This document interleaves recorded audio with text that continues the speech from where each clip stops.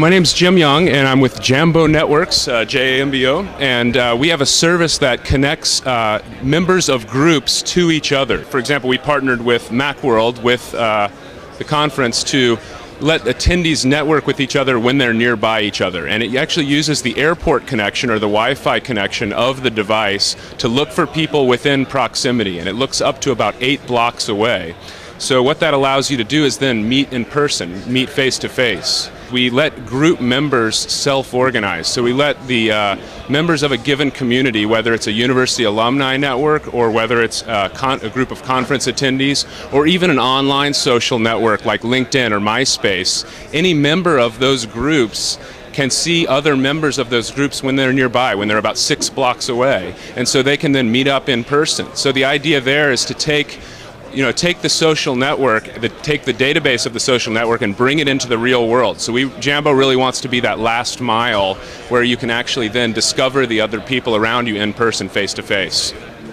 So basically, what you do is uh, is before you load up the application, you can come in and fi- and link to your existing uh, online social network account. So I can link to my blog, so I can let other people nearby me know about my blog. I can link to my MySpace account here. Uh, we can also link to Friendster, Facebook, LinkedIn, Flickr, your delicious bookmarks, uh, LiveJournal, Blogger, eBay accounts, and all those kinds of things. So basically, if you look here, actually, this is an example of how you might enter your MySpace account. So I simply click out to extend the URL. And and then paste my uh, MySpace account in there, and then uh, that MySpace account is available on the Jambo system to connect to other people. Okay, so what we've got is this is the actual Jambo client uh, again running on the Mac. We're also on the on the PC and the Pocket PC, uh, and so what you can see is you can see the people around you, people that are nearby, and they're actually sorted. You can sort them by how relevant they are to you based on the attributes, the profile that you filled out. There's two two ways of filtering. One is based on how visible you want to be in terms of relevance. So I can hide or show people based on how visible I want to be.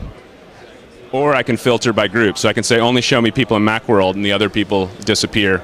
Or I can say I kind of want to see everybody that's around me right now. Uh, and I want to be only somewhat visible. You can find other people that you've been matched with based on this this relevance, and so I can kind of click around and browse somebody, and it'll show me like this guy, for example, is from Fort Worth. Uh, I can see some different groups that we share in common.